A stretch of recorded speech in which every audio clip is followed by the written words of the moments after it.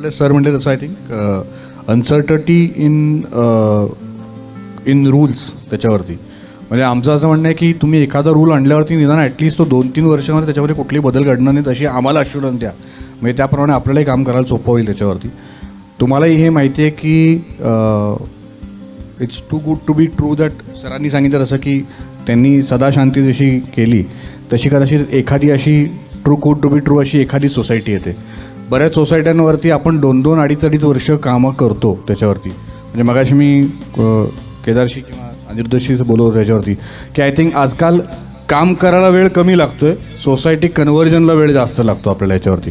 तर त्यामुळे जी काही नियम बदल घडतात बाकी गोष्टी घडतात आपण पहिले ऑफर दिल्यानंतर सोसायटीची बेसिक एक्सपेक्टेशन असते की तुम्ही हे आता दिलेलं आहे हे कमिट केलं आहे ह्याच्यात कुठले बदल घडता कामा नाहीत वाढलं तर नक्कीच वाढवून हवं आहे आम्हाला. कमी झालं तर आम्ही काही कमी एक्सेप्ट करणार नाही याच्यामध्ये. त्यामुळे I think that is where I think that is one of the biggest challenge that we keep on facing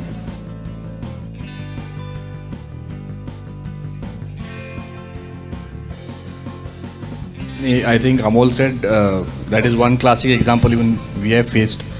Uh, भावाभावांमधली भांडणं that is another classic example that we keep on facing त्याच्यामध्ये. Uh, basically म्हणलं ना I think की प्रपोजलपेक्षा internal वादावादी आणि internal हेवेदेवे आणि पर्सनल अजेंडा आणि पर्सनल इगोज लोकांची सांभाळणं. आय थिंक याच्यातच बऱ्याच वेळेला बराच वेळ आमचा जातो याच्यामध्ये. आणि like Amol said I think yes even we have faced a couple of such cases where I think one was divorce case the other one was भावाभावांमधली असलेली भांडणं वडील मुलाची भांडणं. सो ही सगळी आय थिंक कुठेतरी तो जाऊन पर्सनल लाईफमध्ये शेवटी वी हॅव टू इन्वॉल्व आणि कुठेतरी try and find a midway solution so the society and its members can finally get a redevelop society is something that you all I think probably some some point of time have faced आहे